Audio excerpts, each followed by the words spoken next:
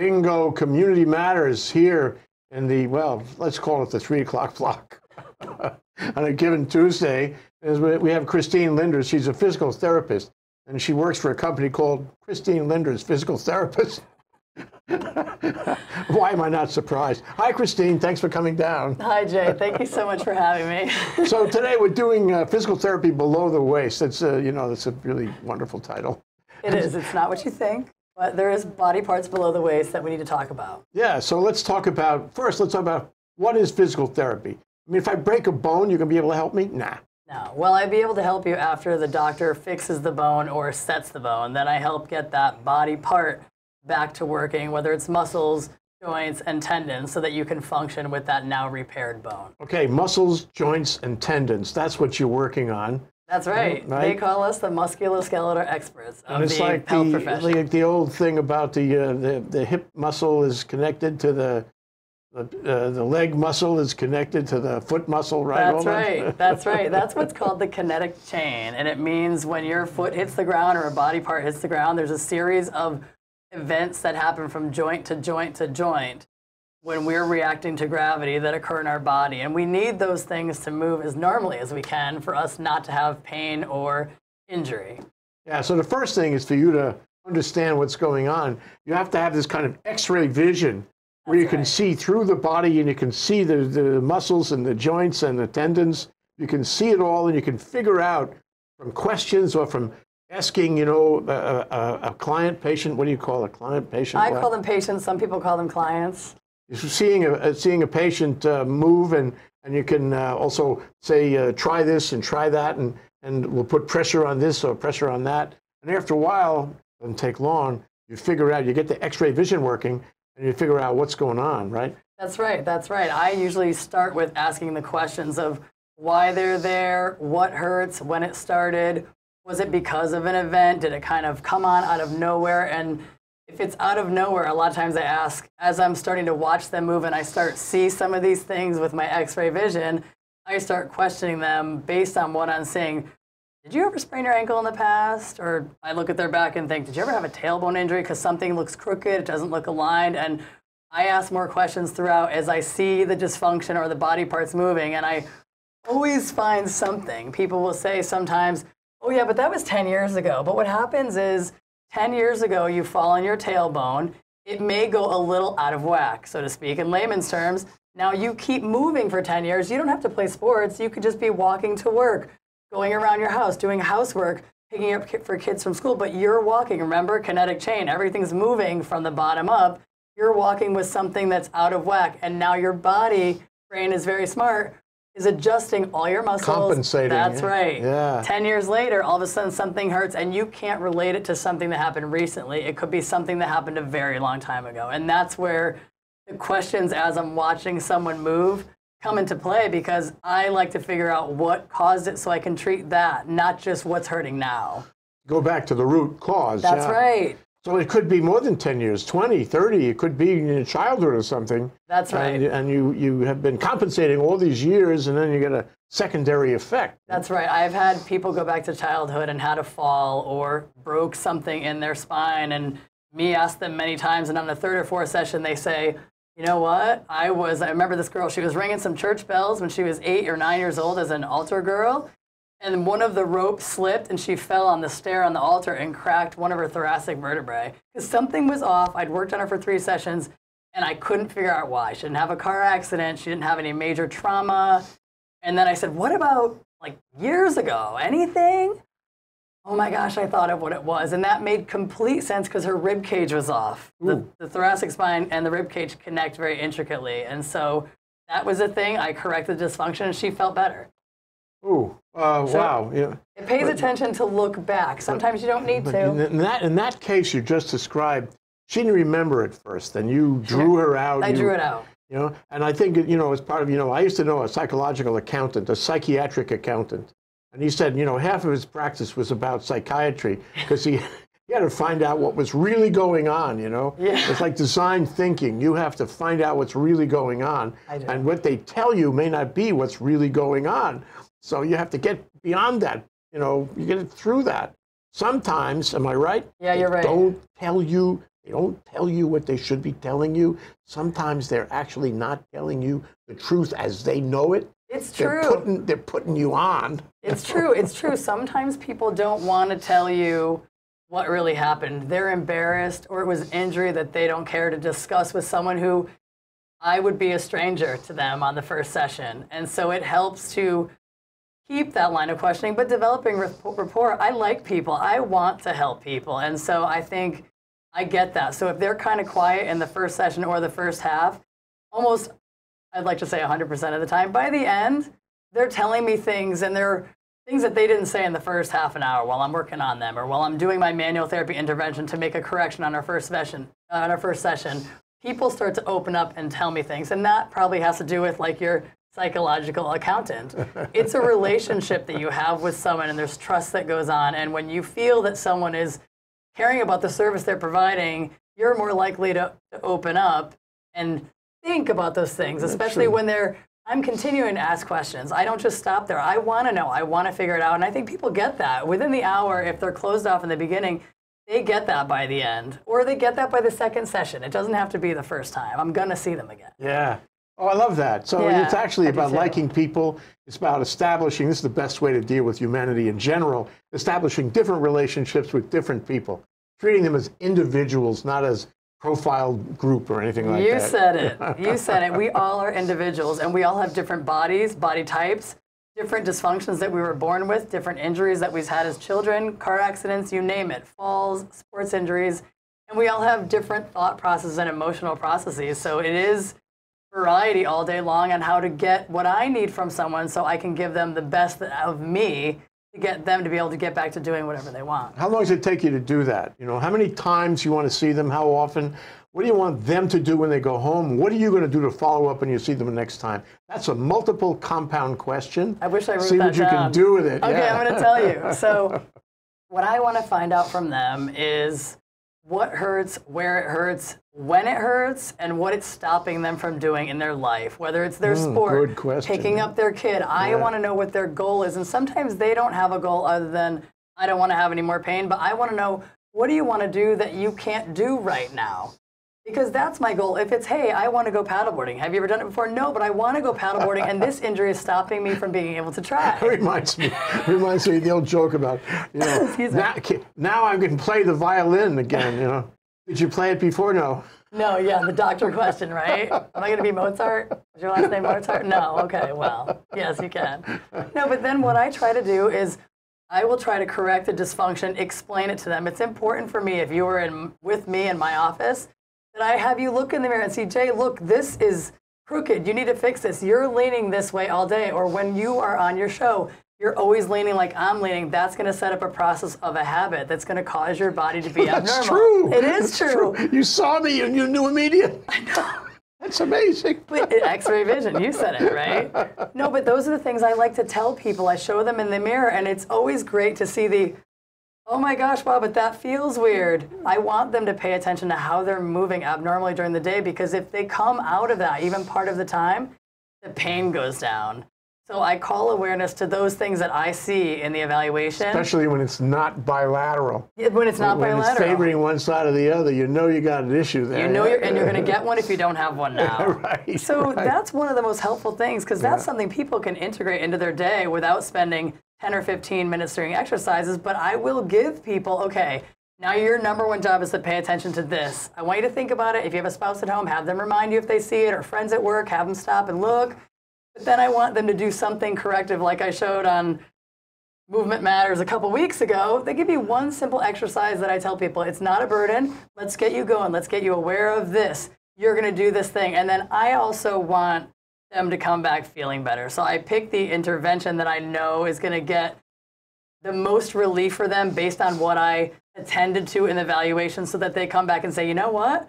I felt less pain. I want that for them when they come there. Okay, so, let's but let's dwell right on that. So suppose they go home and they forget all about it because they're in a busy life, you know, yeah. um, and they don't do it, or they don't do it enough, or they don't do it as much as you told them to do it, or they don't do it right, and they maybe forget how to do it. You know, you're only with them a little while, That's and true. maybe they forget what it's like. You know, and they come back to you uh, I assume a week later, maybe, or something like that? Yeah, it could be a couple days or it could be a week if it's if I'm seeing for the first time at the second half, end of end of the week. So, how do you know if they did their homework or did not do their homework? I don't know when I first meet them, but I do. I used to print out exercises or an exercise for them on one of the programs that they With a graphic thing, a drawing, yeah. My exercises have now become different than they show, and I have a very specific way I want people to do them. So I explain it to them.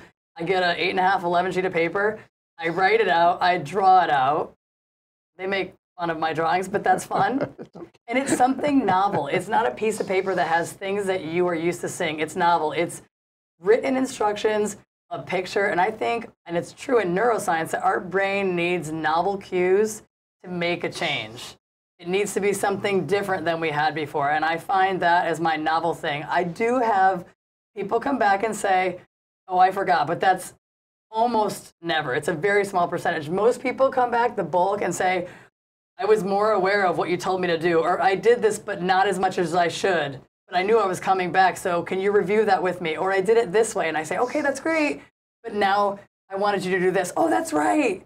So there's little tweaks that you do because it is hard to learn something new. These are exercises that I've been doing for 23 years, and they're seeing it for the first time. Is it supposed to hurt when they do this? No, it's not supposed to hurt. Just stretching or moving in a certain way? It's not supposed to hurt. When I massage people to loosen up a t- muscle that is in spasm, and Yeah. people say that hurts, Yeah. that oftentimes, I don't want to say it's supposed to hurt, but most of the time, a dysfunctional muscle does hurt when you rub on it. And I tell people that would be normal if it hurts. And I'm usually poking on something hard that my hand is telling me that's abnormal. And I ask, does that hurt? Wow, yes, that does hurt. Well, this is why. spasm or it kind of feels firm under my fingertips, Yeah. whereas the other side feels pliable and supple and springy. Yeah, yeah. So when you're doing the exercises, you should not feel pain. And I try to tell people that. I does that hurt? And that's why I try it. Oh, that hurts. How about if you do it this way then? How about if you don't do that and you do this? I send them home with something that doesn't hurt because if I give them something that hurts They won't do it. and it's aggravating the tissue that they're Ah, there that seeing too. me to help. Yeah. Now, how many times they come and see you? I tend to see people twice a week. Sometimes I see people once a week. It really depends on their schedule. The only time I'd ever seen someone three times a week is if, say, they had a, a total knee replacement or an ACL surgery or a shoulder surgery that stiffened up. Sometimes people get so stiff after surgery, they build a lot of scar tissue and they need to be seen more frequently because their range of motion, if they come twice a week, is just not going to get there. But that's rare. Most Yeah. that's a rare occurrence. It does happen, and you see them at a more frequent duration. For how long? For what? Well, how long are the meetings? Oh, okay. And how many weeks? That's a, a double double question. So that varies on the person. So if someone came in with knee tendonitis, I would see them once or twice a week, probably twice a week. Usually I like to say, I want to see you twice a week for the first couple weeks, then we can go down to once a week because I'm going to be doing my manual therapy and showing them exercise, making sure they know it. But now, if it was up to me, I would love to see them twice a week, but I give people the option. People have a busy schedule. Sometimes with insurance, they want to draw their visits out. If there's not a date, uh, expiration date on the visits, but there's a certain number, they want to draw them out because they're only Oh, going to get spread it eight. out, sure, yeah. Spread it out. Let's do four up front, twice a week for two weeks. Then let's do one for two weeks. And then if you're feeling good, we can do one every other week so that you're getting back to your activity and you're still checking into me as you're stressing what I just tried to help you with. Okay, let's talk about below the waist now. All right. I love the title of this show. Me too, that's Next good. show we're going to do above the waist, but today it's below the waist. I like that. Okay, what is below the waist that, that you deal with uh, that we should be concerned about? Okay, so below the waist, the major joints that we're talking about are your hip, your knee, and your ankle. And then very major but smaller joints are the joints in the foot. There are many. The, the lower body, or the lower extremity, as physical therapists or health professionals call it, is very important because you walk from one place to another. So if there's dysfunction in your foot or ankle, your knee, your hip, it sets you up for dysfunction above the waist. Oh, also affects your And life if you can't get around. If you can't, if you're not ambulatory, oh my goodness, you can't live the ordinary kind of life you hope to live. Yeah. You can't. People have trouble getting from point A to point B. I had that trouble when I was living in New York City, and I had a stress fracture in my heel. And now I have a fifth floor walk up. I have to be on crutches to get to work. And now I'm trying to get a cab, crutching around in the city. And it was one of the most difficult experiences I've ever gone through with all the injuries that I've sustained. So I appreciate when someone has a foot or ankle injury because you can't put it on the ground, it hurts, and now you still need to go about your day. You need to go grocery shopping on crutches. I had a across the body bag. I would put everything in the bag like I was going to take it out of the store and then go to the checkout, unload it, pay for it, and then go out to the car. It was a challenge. And that's the foot. That's the first thing that hits the ground, but it's the thing that carries all of our body weight plus the force of gravity. So you better get corrected, whatever it takes. yeah. Um, okay, so the hip. Let's talk about. I'm going down here. The hip. What what could go wrong with the hip, and uh, what you know what can you do to fix the hip, and what can the, the person, the, the patient, do to fix the hip? So there's a lot of things that can go wrong with the hip. People can get a labral tear, which is the cartilaginous ring that supports the ball in the socket. People can get tendinitises from running. You get sciatica, which is an inflammation of the sciatic nerve where it pierces through your piriformis muscle. ooh. Runners that have hip weakness or have had a back injury or an unstable foot can have sciatica because the piriformis muscle now tries to overwork to control the leg, which you'll see in some of the pictures that we're going to talk about later. And people get piriformis syndrome. They get the iliotibial band syndrome, which is a tendon that runs from your hip to the outside of your knee, but it attaches to a muscle that's right up at the top of your hip. The muscle is like about as long and as She's, fat as my thumb. she's pointing to her right hip, Yeah. talking about a muscle that runs down from the waist, just just below All the waist, the- yep, down the on the down. outside. Doesn't go on the inside Nope, though. That's stays- another muscle that goes That's on the another inside. muscle. Okay. That's another muscle. All right. And so people can get hip arthritis as well. They can hmm. get it from trauma and injury. You can get it from genetic issues that you've had. People have a shallow socket sometimes or a, a square peg in a round hole or vice versa where the socket wasn't formed for a full ball and a full socket. And um, you can just get osteoarthritis if you're prone to it or rheumatoid arthritis. So is starts to- arthritis reversible? that's a good question. Rheumatoid arthritis, no. Osteoarthritis, no, although that might be a better question for the regenerative medicine. But hmm. what I do with my patients that have, let's say, severe hip arthritis, I've seen golfers with severe hip arthritis. What happens when you get hip arthritis is it's a wearing away of the surfaces. So the ball may not be smooth and round, it may be more like my fist. Or the socket may have pits like craters in the moon. And so as you move through your day and the ball moves in the socket, it bumps into exposed bone because that cartilage isn't covering it anymore.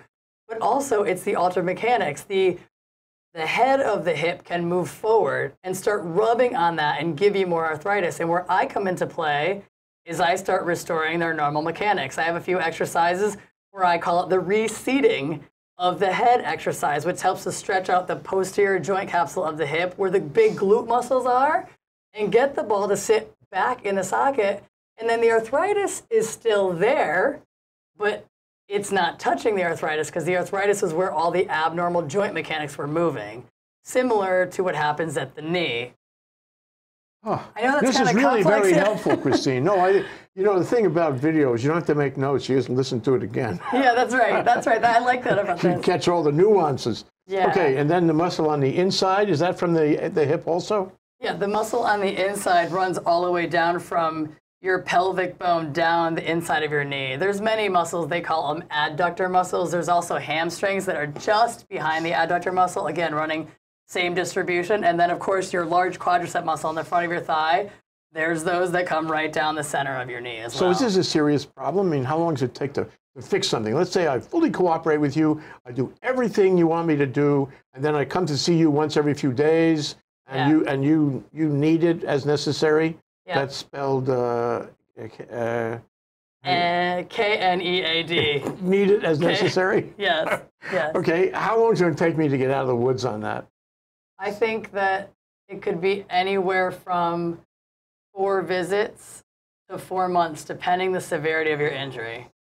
Can Or I can I run while while this is happening? I like to keep my people doing what they love as long as it's not making them worse and as long as they're getting better. So, runners, tennis players, athletes, walkers, everybody that's paddlers, whoever, everybody that's doing everything, if they're doing it and they're saying it hurts worse, well, then we, I do an intervention, have them try it. Does it feel better? Ooh, yeah, that didn't hurt afterward. Okay, great. So, I'm going to keep you doing what you want. But if there's a point where you are sore and you're not getting better, I'm going to have to stop it for a couple weeks. The reason why I don't like to stop things, if it's not making them worse and if they continue to get better with what I'm doing with them, They should continue to do that. other things get weak. And then people go back, and I know from personal experience, when you're resting something, now you go back and a lot of your body has lost that sport specific training to whatever you're doing, whether Yeah. it is walking or lifting your kids, and now people come back with some other problem. So I'm very smart about it. It's very individual. I'm open communication with whoever I'm working with at the time. I'd like to keep you doing this, but if this is happening, then we have we're gonna have to take a break. It's a relationship. It's interactive. It's communication. It's you and all me. that stuff. Speaking of which, it's time. It's time for our pictures. Okay. We're going to show some pictures now, and Christine's going to tell you what they mean and, and what we can learn from them. There's the picture, first picture. First picture. So with this picture, let's look at the left leg, which is the leg that's on the ground on your right side. So if you look at the ankle and the foot, and then you go up to the knee, and then you go up to the hip, and then you go up to the shoulder, it's in a relatively straight line. That's normal mechanics for doing like a single leg squat, stepping down, going down a stair. Now, if you go to the next shot, What role does the dog play in all of that? he, he wouldn't stop coming it's- into it's- the field of it's- vision. It's, sort of psychic benefit. Okay, ne- next picture. to feel good. So this picture shows if you look at my hands, you can see that one hand is lower than the other. When I see that in the clinic, that means that that hip on that side is having Oh, a functional interesting, problem. Interesting. Observe. You have to be very observant to see that. I wouldn't You- have noticed that. I show people in the mirror all the time because whether you're coming to me with knee pain or ankle pain or you have a disc injury that's making that muscle weak, you're gonna have knee pain. You're gonna have plantar fasciitis if you're a runner. If you're a young girl playing volleyball and landing, or a basketball player, or someone, a baseball player throwing, that sets someone up for an ACL injury because the foot bone's connected to the knee bone and the thigh bone, right? That's the jingle. So if you see now my knee is inward of my hip.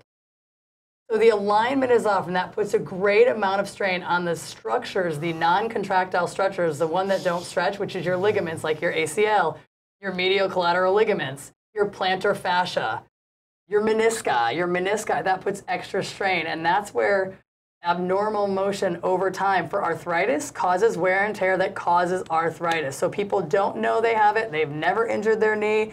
They come into me and I see this and I say, well, I know why you've got arthritis because now your knee bones have been twisting like this every step you take, every stair you went down, every time you bent down to get something out of the stove. Yeah. And now you have wear and tear You're- that's you're caused hurting you. yourself, You're hurting yourself, but you've never injured yourself. Yeah, yeah, yeah. So on we- this picture, you have a model on that picture. Now, the model demonstrates that, that, that she has a, an, an imbalance on her, on her hip. Did you have to pose that, or does she really have an imbalance? I had to pose that, but that person did have an imbalance. No kidding. Shown by picture number one. It's corrected now. So Okay, all right, good. that model was trying not to injure her knee to, for this talk to show it to people because it's important to see it, you know? Would you say everybody has something? You know, I make a comment about Olympic athletes. Yeah. And I say that everybody has something for the most part. But when you get these bodies that are working so well, like someone that can get to the caliber of Olympics, their joint and body alignment has to be as close to as symmetrical as possible for them to avoid career ending injuries, which is why other people that would be Olympic hopefuls never get to that point in their career. That's the difference. That's the difference. So, not everybody has something maybe musculoskeletal. Everybody has something in their body that they may find out when they're 90. Maybe they have tooth problems. It doesn't have to be physical. But the Olympic athlete is the analogy I make because they move as close to normal as possible, which is why they can exercise for six to eight or whatever hours a day that they do Without hurting themselves. for years Yeah. to yeah. get to that level and not be done. Let's talk about the next picture. We have another picture.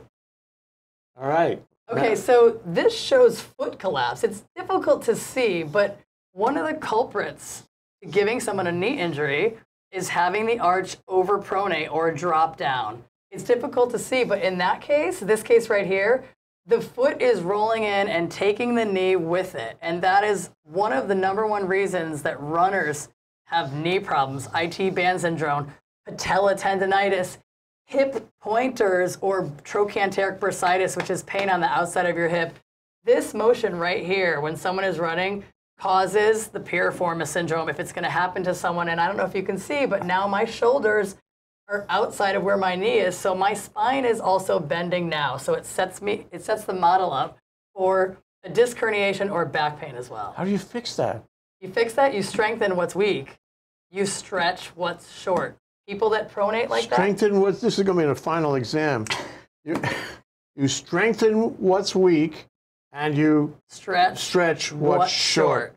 Yeah, so Yeah, people maybe you should write that down. Write huh? that down because people who have tight calves or short calves, meaning your muscle is so tight on the, the back of your lower leg that your ankle doesn't move through the amount of range of motion that is normal. When that happens, the foot, the foot now will overpronate because the ankle doesn't have enough range of motion. And when the foot pronates, it takes the shin bone and rotates it in. And now the knee is sitting there, and then the femur bone has to rotate in, and you see what you saw in that picture, which is the knee going in, my body leaning over to the other side to compensate, because you're trying to get that balance point, Yeah. and all the balance is lost at that point. So if I'm a runner and they have a shiatsu place at the end of the run, does, does that help? it does help.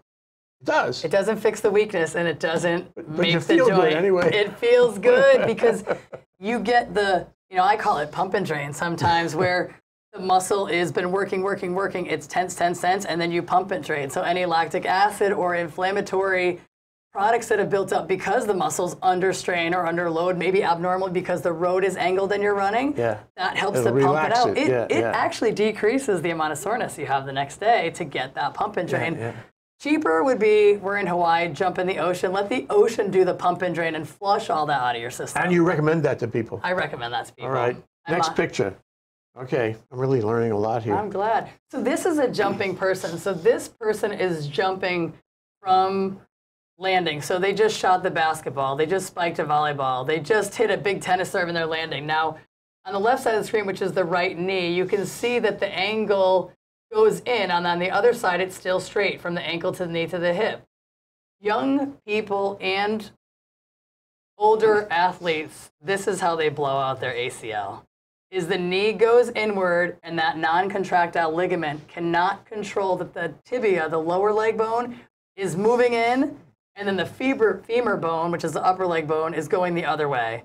So that's something that needs to be trained out. Now, in this photo, you don't know whether the foot is doing it or the hip is doing it because it's not a it's not a movie. In a movie, I would look at it a couple times and see, oh mm. wow, the hip's dropping, mm. or mm. oh wow, your ankle is rolling in and taking the rest of your leg with it. We have to fix that. Now, once they know, once you tell them, then presumably they're aware of the problem and, That's and the origin of the problem. Yeah. And does it help them? I guess it does to know how the mechanics are working on this. It does help them. A lot of people have that epiphany where they say, oh my gosh, wow, I didn't know that my foot is turning out on this one side, or wow, I see that my knee is going in, but I've always done that. And I tell them, you may have always done that, but you need to try to make it more towards normal because if you keep always doing that on that one side, you're going to keep having the joint structures rub against themselves not where they're supposed to. Let's say it's the knee and the foot is going in, the knee's going in. You're going to rub like this, and then people get osteoarthritis on one side or they wear down in meniscus. If you turn it straight and it's more towards normal, now it's rubbing here where it should be, which is closer to normal joint mechanics. Yeah, and you can run for longer, and, and, and when you get older, it's, it's not going to fall apart on you. That's right. It's Have we really got any important. more pictures, or, or Yeah, what? there's some more let- Let's go quickly. I think. Okay, so we got the strengthening exercises now. Is that what we want to go to? Yeah. Okay, so this is one of my favorites for isolating, mostly isolating the gluteus medius muscle, which is the muscle that if you stand on one leg, keeps your pelvis level so you don't have that drop where I showed in the image earlier. So I have people pull their toes up with a band around the ankle or not. You can do it laying on the floor, laying on your bed with no band and still feel it. You pull your toes up, you press your knees down, you squeeze your glutes as tight as you can, and then you push into the surface, bed, floor, whatever, and you slide out to the right, keeping your toes pointing to the ceiling. The gluteus medius muscle works primarily moving the leg to the side when you're not on your feet, but it also does some rotation and some movement backward, but primarily to the side. Now, when you're standing, the gluteus medius has a huge role. It keeps the pelvis level on the leg. So when that pelvis dropped, that gluteus medius is not strong enough to stabilize it there, which is how I'm teaching it to operate in that photo. How long have you been doing this? I say 23 years, but it was 97, so it's actually You don't- 22. You look. You don't look. Don't look 23, but My dad was med You began at a very early yeah. age. Is that I graduated college at 15. And you and you studied physical therapy. I studied actuarial science, and then that follows. and then I didn't enjoy the desk thing, so I went to physical therapy, and it really interested me. well, it, you know, it does sound fairly complex to me. Yeah. And uh, I suppose uh, if you're motivated to fix yourself, if you're motivated to be healthy and not degenerate, uh, you, you pay attention. Yeah. well, Christine, thank you very much for coming down. Thank This you, This has been having me. very elucidating. And uh, I, I'm not sure what I'm going to do. Maybe I'm going to try some of these things. Maybe I'm going to become a physical therapist myself and see if I can do what you do. No, I think that's a great joke, idea. joke. Thank you, Christine. Thank you so much, Jay. it was Yeah, my aloha, pleasure. Great fun. Aloha. We'll do it again. Absolutely. I look Above the forward waist, to it. yeah.